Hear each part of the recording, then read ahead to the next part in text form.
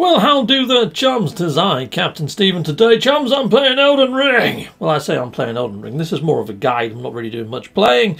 But a lot of people have got their setup so when you press down, you can cycle through all your magical potions and healing potions and maybe summoning your horseman horse horse, all off of the down press, so you have to cycle through. Well, I was finding that I kept going past what I wanted, and then when you pressed up, it actually did something completely different because on the up menu you've got like your spells or whatever. So yeah, if you do hold it down for a while though, it does cycle back through.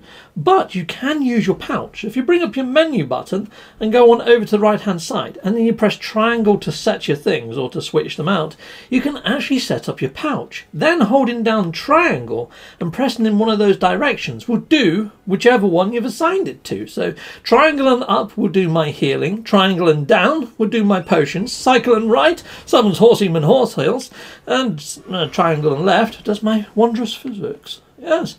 And the nice thing is, you can do this while you're sort of walking around and things. Just hold down triangle, hit the button. Lovely jubbly. I find this so much easier for healing and stuff during combat. I really do.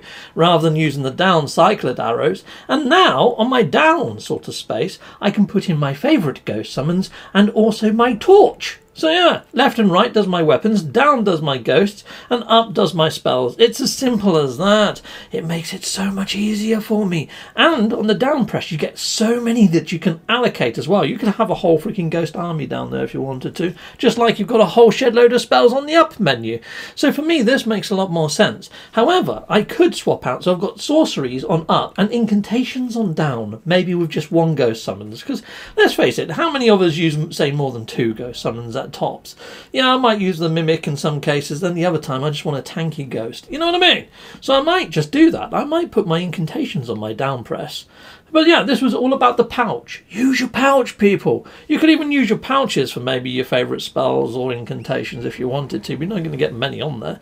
Or even, uh, yeah, have a play. Have a look at the pouch is all I'm saying. Check out your pouch. Yeah, anyway, enjoy your videos, because this is just a trailer to a premiere. Well, thank you very much for watching. If you like what you see, please hit a like and a subscribe, and I'd like to say a massive, great big thank you to all of my backers over on Patreon and over on YouTube membership. Thanking you, backers!